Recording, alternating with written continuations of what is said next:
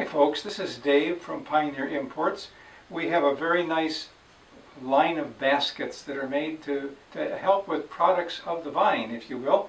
Uh, many have asked us about baskets made to hold wine bottles, and we have a nice series, a nice line of wine baskets.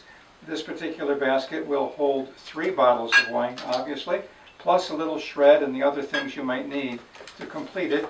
We have uh, one that's made to hold two bottles, and it comes also in black, if you're so interested. And we have a very lovely uh, basket that's made to hold bottles of vinegar and oil, things of that nature, the smaller size bottles. So this line of baskets is made just for that purpose, and I think you'll find it'll work in well with gift items for the coming year. Thanks for being interested in Pioneer Imports.